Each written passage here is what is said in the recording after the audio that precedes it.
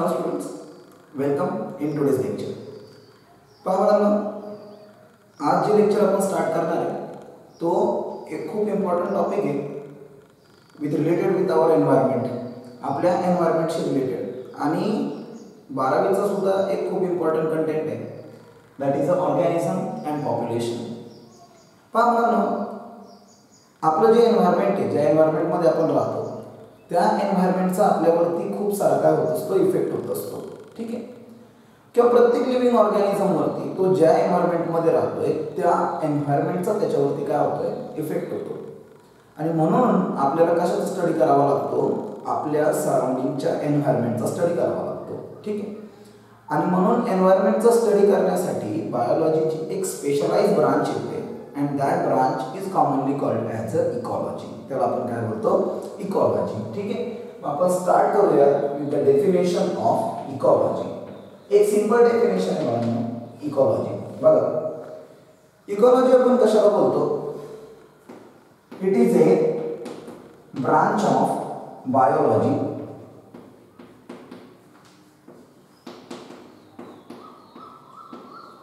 which deals with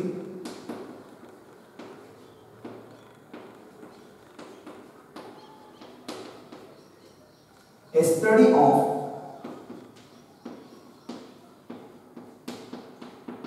interactions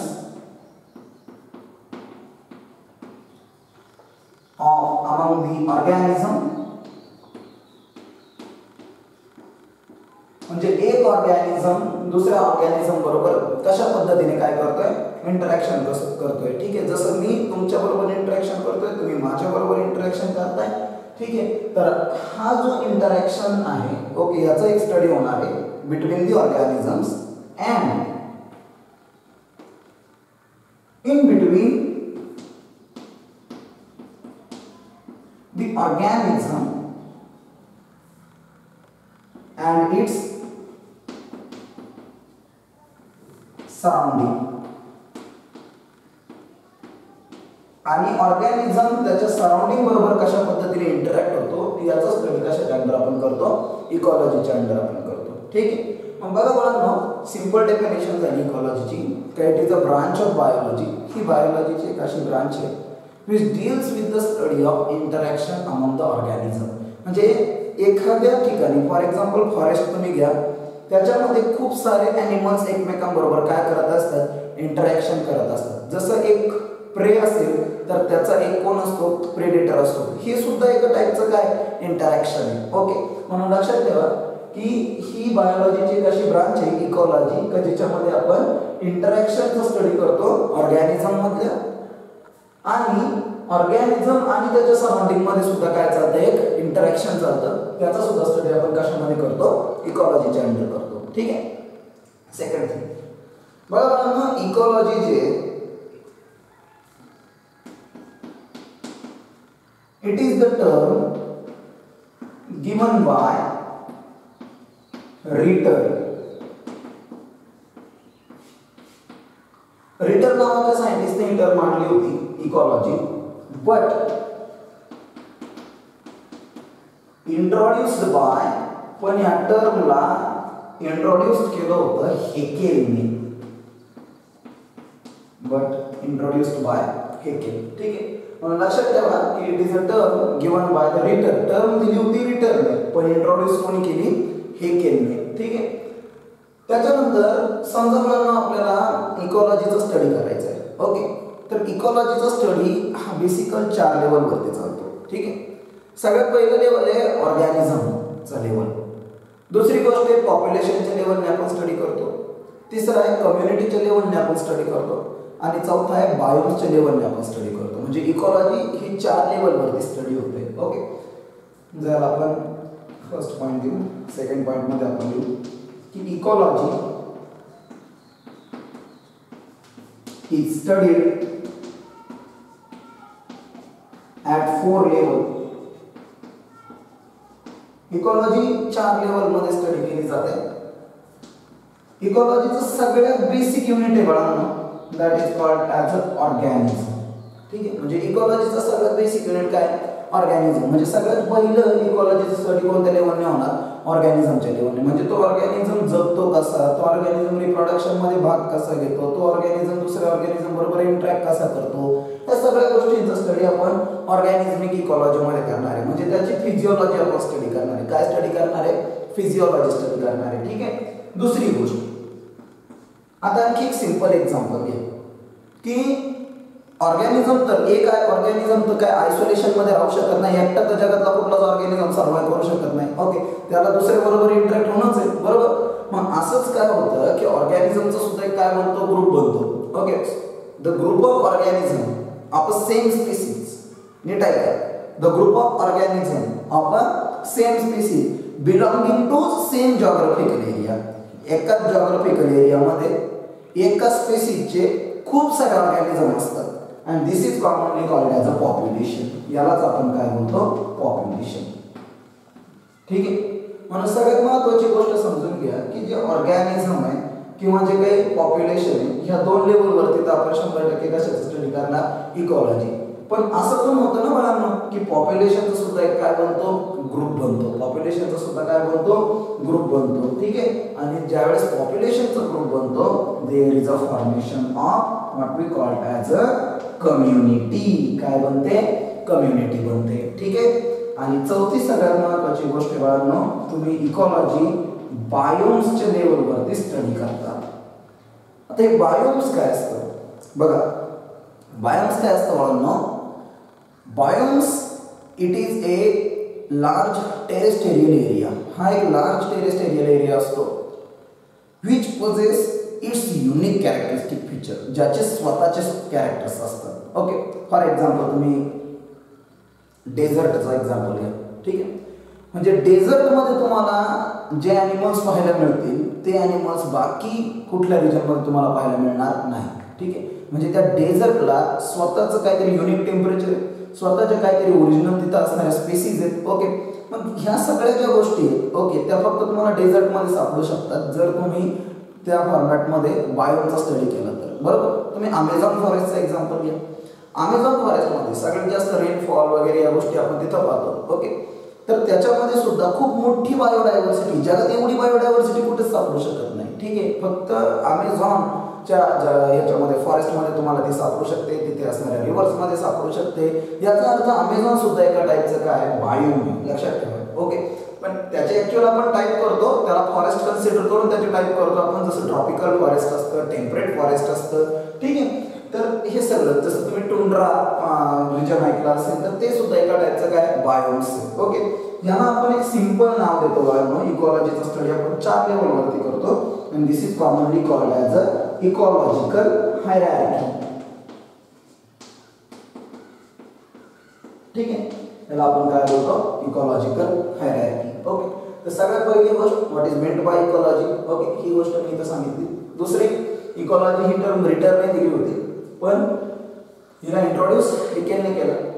त्यानंतर तिसरी गोष्ट मी सांगितलं की इकॉलॉजीचा स्टडी चार लेवलने चालतो. ऑर्गॅनिझमच्या लेवलने पॉप्युलेशनच्या लेवलने कम्युनिटीच्या लेवलने बायोम्सच्या लेवलने ठीक आहे? आणि ह्याला आपण जनरली ही जी काही चारही लेवल आहे यांना मिळून आपण काय बोलतो? इकॉलॉजिकल हायरॅर्की असं बोलतो ठीक आहे?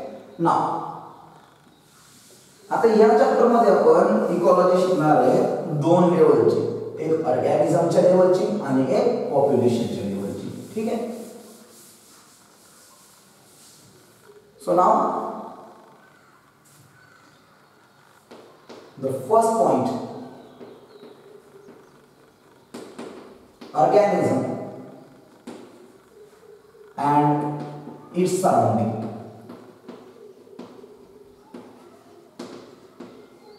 तर बघा ना पहिली गोष्ट ऑर्गॅनिझम अँड इट्स सराउंडिंगमध्ये. ऑर्गॅनिझमिक ecology deals with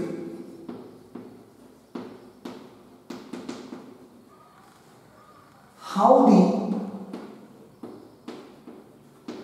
organism is adopt actually जी काही ऑर्गॅनिझमिक इकॉलॉजी असते बाळांनो ह्याच्यामध्ये तुम्ही काय स्टडी करता? How the organism is adopt organism स्वतःला कशा पद्धतीने अडॉप्ट करतो? Okay in unfavourable condition actual त्याची प्लांट फिजिओलॉजी म्हणजे जर तो प्लांट असेल तर प्लांट फिजिओलॉजी आणि ॲनिमल असेल तर ॲनिमल फिजिओलॉजी याच गोष्टीवरती ऑर्गॅनिझमिक इकॉलॉजी बेस्ड असते. फक्त याच्यात आपण काय स्टडी करतो की तो ऑर्गॅनिझम ते प्लांट असू द्या किंवा ते अॅनिमल असू द्या तो कसा सर्वाईव्ह करतो कसा अडॅप्ट करतो okay is adapt for survival and reproduction in unfavourable condition कारण हे आपल्याला माहिती पडलं की प्रत्येक ऑर्गॅनिझमसाठी किंवा प्रत्येक कंडिशन फेवरेबल असतं असं काही नाही. ओके फॉर एक्झाम्पल तुम्ही बघा फ्रॉक तुम्ही घ्या. फ्रॉक जनरली काय करतो? रेनी सीझनमध्ये आपल्याला फ्रॉकचा नंबर जास्त दिसतो. As compare to summer as compare to winter okay ह्याचं रिझन आहे ना? ओके कारण फ्रॉक जो आहे तो ब्रीडिंग कधी करणार? तो सीझनल ब्रीडिंगमध्ये येणार आणि तो ब्रीडिंग कधी करणार? रेनी सीझनमध्ये ब्रीडिंग करणार रिप्रोडक्शन करणार. कारण जे समरची कंडिशन आहे किंवा जी विंटरची कंडिशन आहे ती त्याच्या बॉडीसाठी सुटेबल नाही. ओके म्हणून लक्षात ठेवा की due to the presence of different kind of season okay आपल्याकडे खूप सारे म्हणजे तीन सीझन आपण कन्सिडर करतो. तर हे सीझन्स पॅटर्न जो आहे ओके त्याच्यामुळे ऑर्गॅनिझमची बॉडीवरती सुद्धा त्याचा काय एका टाईपचा इफेक्ट आहे ओके पहिली गोष्ट सीझन तयार होता ओके सगळ्यात पहिली गोष्ट the rotation of earth around the sun okay and its tilt of axis of rotation okay म्हणजे आपली जी काही पृथ्वी आहे ओके ही सन होती फिरते ओके पण कशा पद्धतीने फिरते? ओके त्याच्यानुसार काय म्हणतात सीझन्स म्हणतात ओके आणि मग त्यावेळेस सीझन्स तयार होतात तर ह्याच्यामध्ये जे काही अॅन्युअल प्रेसिपिटेशन असतं रेनफॉल म्हणा तुम्ही स्नोफॉल म्हणा तुम्ही ठीक आहे? तर त्याच्यानुसार आपल्याकडे डिफरंट टाईपचे काय तयार होतात? बायोम्स तयार होतात. फॉर एक्झाम्पल एखाद्या ठिकाणी खूप सारा पाऊस तयार झाला ओके म्हणजे खूप सारा पाऊस पडला तर तिथे generally tropical rain forest temperate rain forest या टाईपचे हे तयार होतील ओके पण काही ठिकाणी पाऊसच नाही पडला. ओके मग तिथं डेझर्ट कंडिशन्स तयार होऊ शकतात. ओके म्हणजे खूप कालावधीपर्यंत नाही पडलं तर डेझर्ट कंडिशन्स तयार होतील. ओके म्हणजे ही गोष्ट लक्षात ठेवा तर जे काही सीझन्स असतात ओके आणि त्याच्यामध्ये जे काही अॅन्युअल प्रेसिपिटेशन असतं रेनफॉलचं किंवा स्नोफॉलचं त्याच्यानुसार काय पडतात? बायोम्स पडतात. ओके म्हणून सगळ्यात महत्वाची गोष्ट generally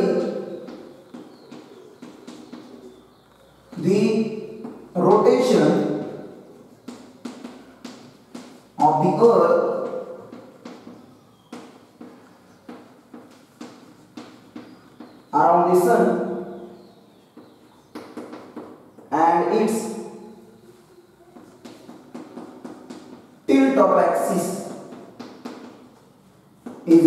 responsible for season formations.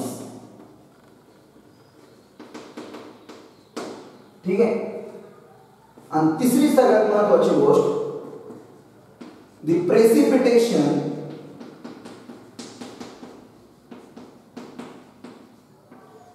and annual precipitation म्हणू आपण the annual precipitation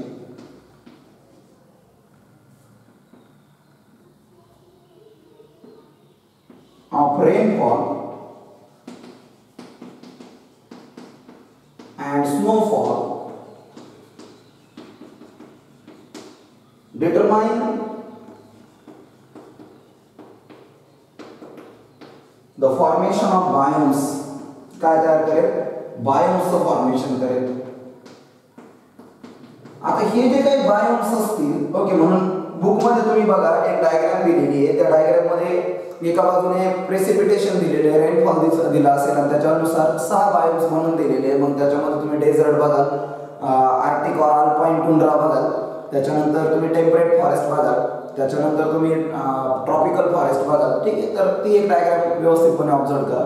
ठीक आहे?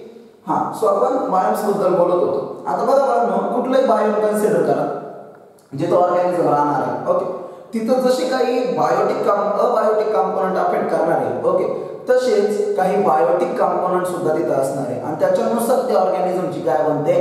हॅबिटॅट बनते. काय बनते? हॅबिटॅट बनते. म्हणून सगळ्यात महत्वाची बायोम्स आता आपण कन्सिडर करतोय म्हणजे तिथं कुठले ना कुठले अॅनिमल सापडणार कुठले आणि कुठले प्लांट सापडणार. ठीक आहे the presence of different kind of flora different kind of fauna flora म्हटलं की प्लांट फाउना म्हटलं की अॅनिमल्स पण त्या प्रत्येकाचे एक काय असणार स्पेसिफिकल हॅबिटॅट ठीक आहे म्हणून लक्षात ठेवा की habitat of the organism includes both abiotic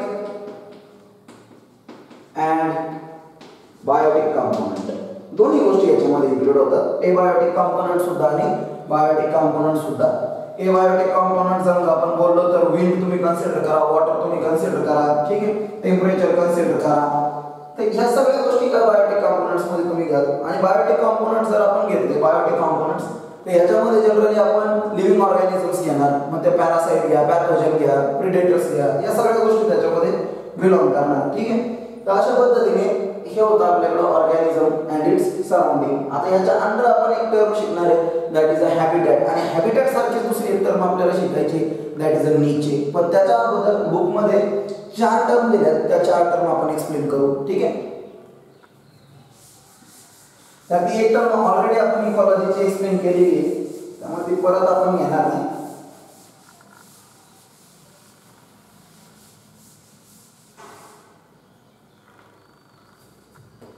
but एक टर्म दिलेली आहे. दॅट इज इथॉलॉजी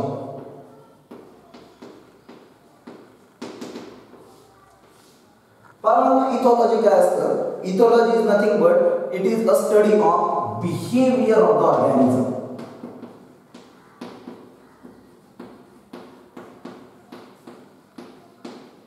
एखाद्या ऑर्गॅनिझमच्या बिहेवियरचं स्टडी आपण करतो.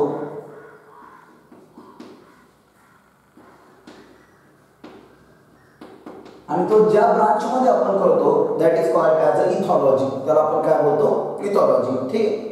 Second concept about now that is a biomics.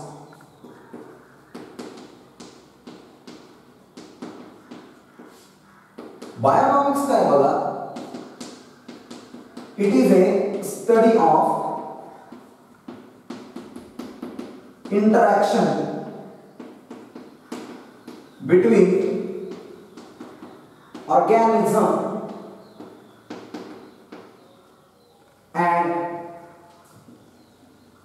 its surrounding एखादा ऑर्गॅनिझम त्याच्या सराउंडिंगला कशा पद्धतीने रिस्पॉन्स करतो ठीक? आहे तर हे याचा तुम्ही जो स्टडी करता त्याला आपण काय बोलतो? बायोनॉमिक्स ओके आणि तिसरी टर्म दिली आहे that is a biosphere biosphere एक सिंपल गोष्ट आहे. ऑल द इकोसिस्टम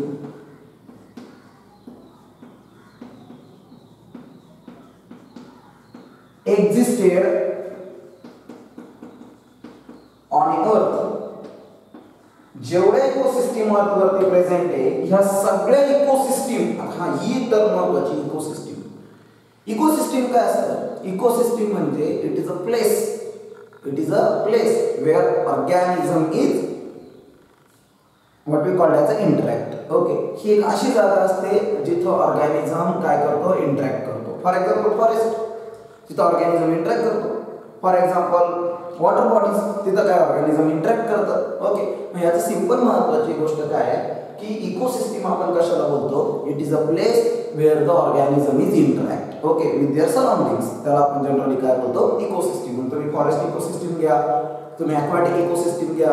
तुम्ही साधं क्रॉपलँड इकोसिस्टीम घ्या. ठीक आहे. म्हणजे आपण समजा एखादं शेत तयार करतोय फार्म तयार करतोय. तर त्याच्यामध्ये जसं आपण क्रॉप्स लावतो. ओके तसे त्याच्यामध्ये काही पेस्ट येतात. ओके. म्हणजे छोटे छोटे पॅरासाइट्स तयार होतात. फॉर एक्झाम्पल तुम्ही कन्सिडर केलं ग्रास हॉपर वगैरे तयार होतात. ग्रास हॉपर तिथं आला म्हटल्यावर फ्रॉक तिथं येणार. फ्रॉक तिथं आला म्हटल्यावर स्नेक तिथं येणार. स्नेक आला म्हणजे वरचर येणार.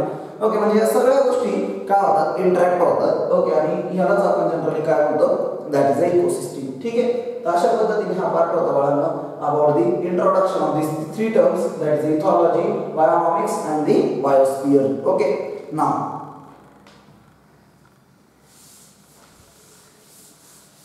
Now we will discuss about the most important part.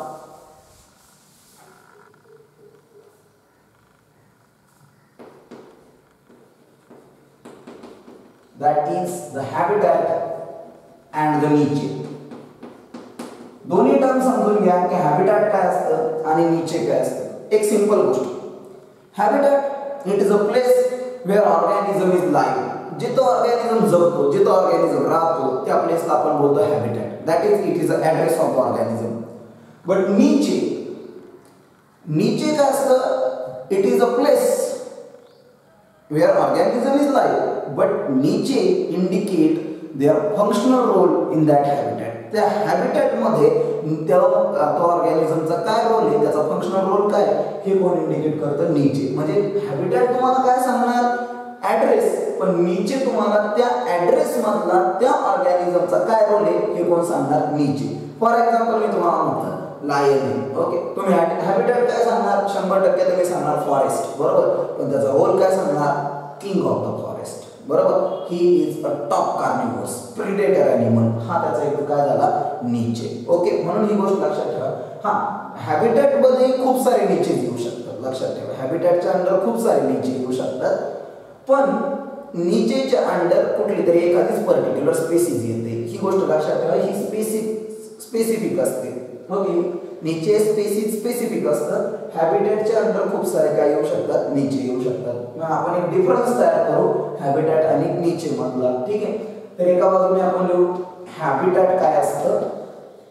आणि एका बाजूने आपण लिहू नीचे काय असतं?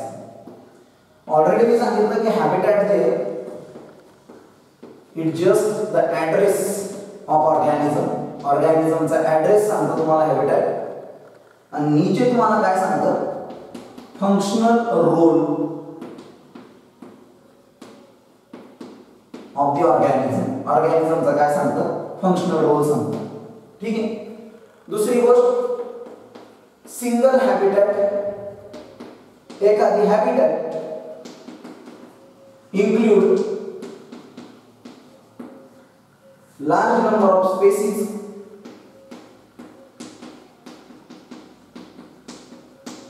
एखादी हॅबिटॅट खूप सारे इन्क्लूड करून घेऊ शकते. बट नीचे जे असतं इट इज़ स्पेसिस स्पेसिफिक हे कसं स्पेसिस स्पेसिफिक असतं, लक्षात ठेवा. तिसरी सगळ्यात महत्वाची गोष्ट आहे about the habitat and niche habitat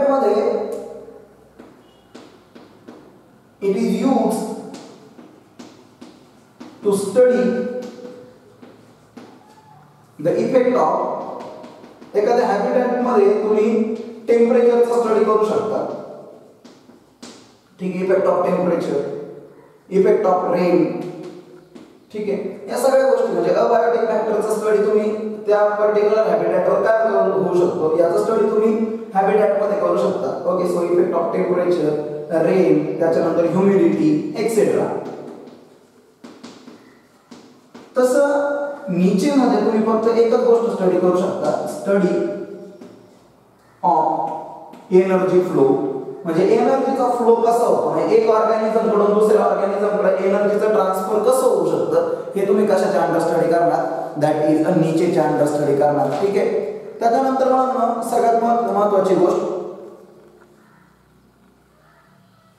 की हॅबिटेट जे असतं इट इन्क्लूड द नीचेस एका हॅबिटेटमध्ये खूप सारे नीचेस येऊ शकतात. फॉर एक्झाम्पल बघा ना जसं फॉरेस्ट आहे ते एक हॅबिटेट आहे. बरोबर? पण त्याच्यामध्ये कोणकोणते नीचेस येतात बरं? त्याच्यामध्ये काय कार्निवर्स काही हॅबिवर्स बरोबर? काही इन्सेक्टिव्हर्स असे खूप सारे काय येतात? नीचेस येतात. So habitat include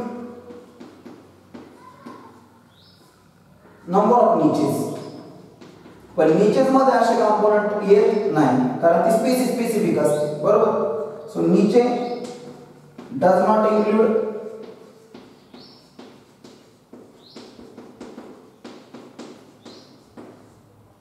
does not include such component.